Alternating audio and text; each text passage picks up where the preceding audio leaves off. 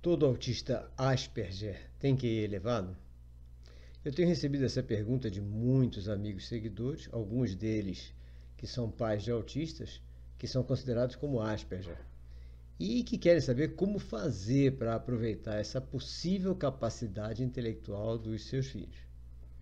Mas vamos iniciar então por alguns dos mais recentes trabalhos publicados nas revistas técnicas internacionais. Uma das linhas de pesquisa mais promissoras e mais eficazes, de acordo com a nossa observação dos autistas que foram matriculados em nosso colégio nos últimos 21 anos, é a que visa a redução dos sintomas pela eliminação das suas causas intermediárias.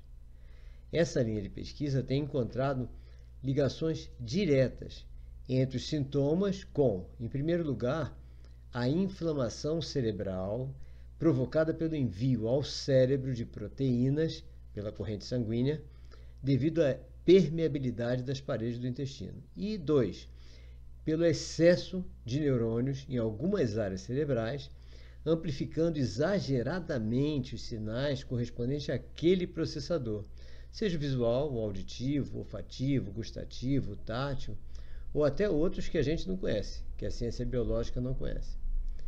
Essa linha mostra meios de reduzirmos todos os seus sintomas e, assim, o autista passa a ter condições de se desenvolver intelectualmente e alcançar a sua autonomia, da mesma forma que uma criança neurotípica. Outra linha, infelizmente uma das mais frequentes, ignora as evidências dessa inflamação e desse excesso de neurônios, mesmo com todas as comprovações publicadas e acaba tratando o autista como se os seus sintomas não possam, não pudessem ser reduzidos e, portanto, que devem ser camuflados pelas atuais drogas psiquiátricas. Nessa linha estão cientistas famosos e até muito importantes, que nos seus trabalhos eles visam encontrar a cura definitiva da causa original do autismo, que segundo todos eles, e eu concordo também, parece estar nas dezenas de mutações nos seus genes. A maioria desses pesquisadores não tem interesse algum pela redução das causas intermediárias, já que quando eles encontrarem a cura da causa principal, não vai haver mais autismo. Então não vai haver mais necessidade de nada disso.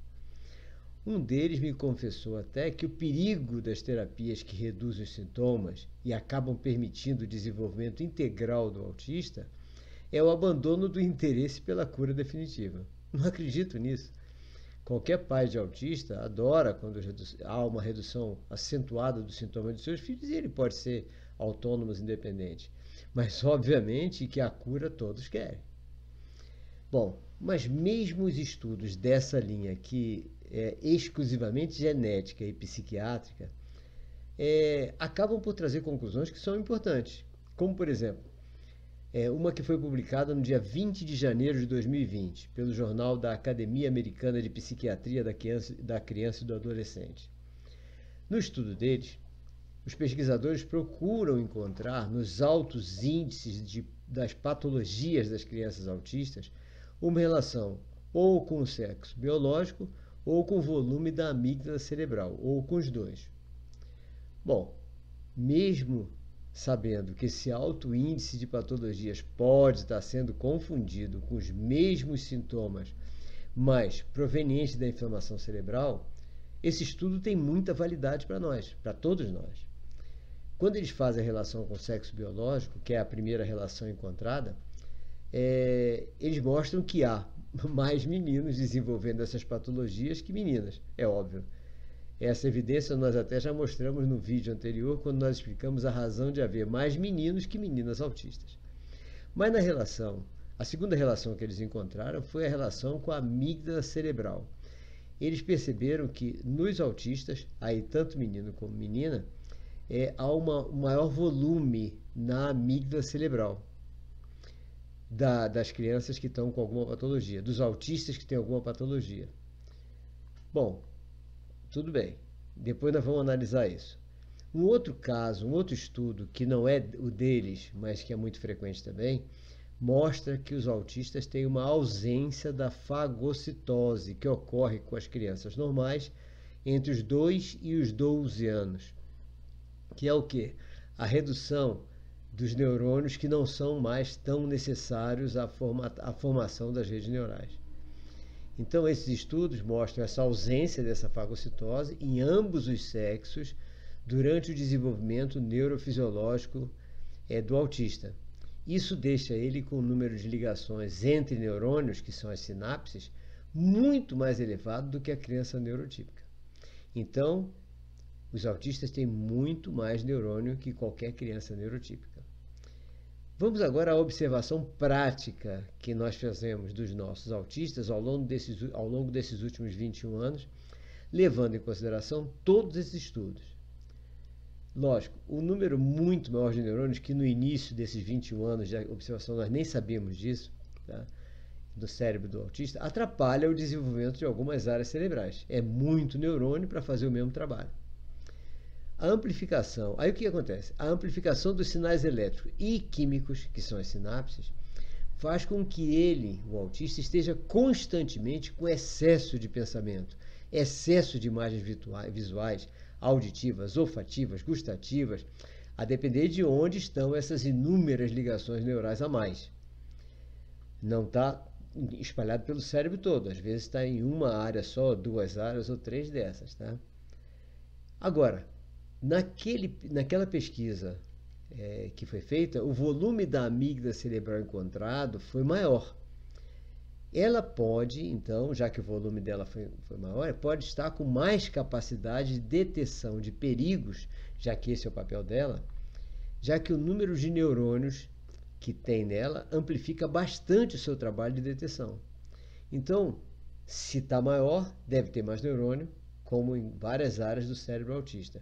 Aí o trabalho de detecção fica muito mais amplificado. O que, que significa uma detecção mais amplificada? vai acabar prejudicando o autista. Por quê? Vai disparar. O que, que ela faz? A amígdala cerebral dispara o sistema nervoso simpático. Então, isso pode significar que ela vai disparar esse sistema nervoso simpático com mais frequência, mesmo que não haja uma real necessidade. Isso vai trazer muito mais ansiedade, muito mais tensão emocional para o autista. Isso explicaria no nosso estudo a facilidade de irritação, inquietação, impulsividade, agressividade e, óbvio, a redução acentuada do seu sistema imunológico, ficando o autista mais vulnerável a patologias, patologia de oportunidade ou mesmo um monte de problemas psicossomáticos. Mas esse maior volume também pode ser resultado de inflamação cerebral Embora a gente não saiba, né? a gente só tem comprovação evidente, por enquanto, da inflamação cerebral direta dos astrócitos nos interneurônios, mas ainda não temos conhecimento se alguma pesquisa encontrou essas inflamações nas redes neurais das amígdalas. Então, o que nós concluímos é que se nós conseguirmos reduzir a inflamação cerebral do autista, nós vamos ficar apenas com excesso de neurônios e, obviamente, as suas correspondentes amplificações de sinais, mas sem irritação, sem agressividade e sem comportamentos estereotipados. A partir daí, vai ficar muito mais fácil direcionar esse acúmulo de pensamentos para as habilidades correspondentes à sua área cerebral mais amplificada o que pode trazer como resultado um desenvolvimento muito mais eficaz até do que o de qualquer criança neurotípica, que é o que nós temos visto.